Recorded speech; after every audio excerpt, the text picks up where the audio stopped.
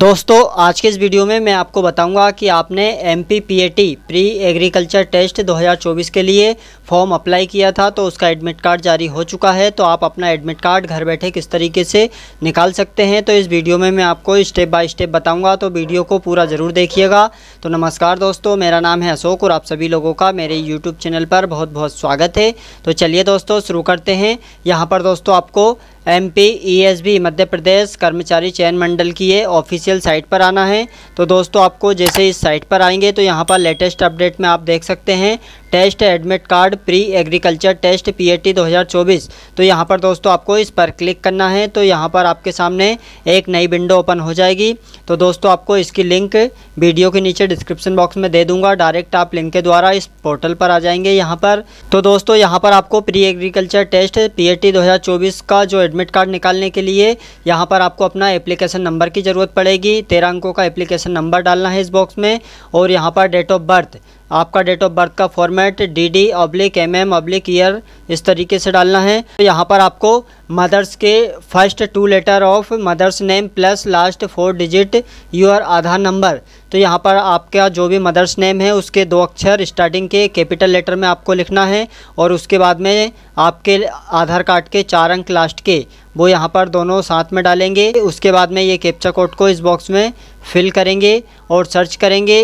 तो दोस्तों, अभी तक आपने वीडियो को लाइक नहीं किया है तो लाइक करें और चैनल पर पहली बार हो तो चैनल को सब्सक्राइब करें, साथ ही बेल नोटिफिकेशन ऑल पर सेट कर लें, ताकि आगे भी आपको इससे रिलेटेड वीडियो की नोटिफिकेशन समय समय पर मिल सके।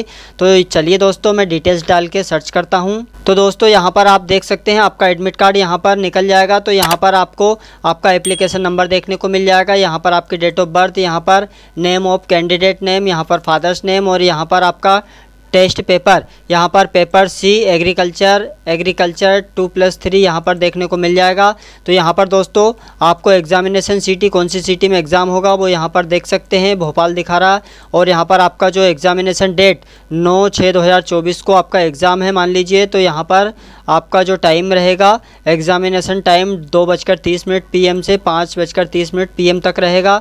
तो यहाँ पर आपका, दोस्तों, यहाँ पर अभी फ़िलहाल आपको जो एग्ज़ामिनेशन सिटी का नाम दिखा रहा है और कौन सी तारीख को आपका एग्ज़ाम है और टाइमिंग तो यहाँ पर you can download your details test admit card three days before your exam date और यहाँ पर this preliminary information need not to printed only details test admit card need to printed यहाँ पर दोस्तों आपको मान लीजिए नौ तारीख को आपका एग्ज़ाम है तो उससे तीन दिन पहले आपका एडमिट कार्ड जारी हो जाएगा।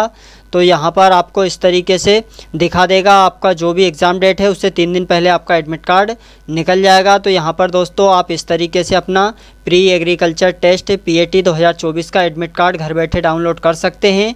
तो दोस्तों वीडियो अच्छा लगे तो प्लीज़ वीडियो को लाइक कीजिएगा और अपने दोस्तों में शेयर कीजिएगा।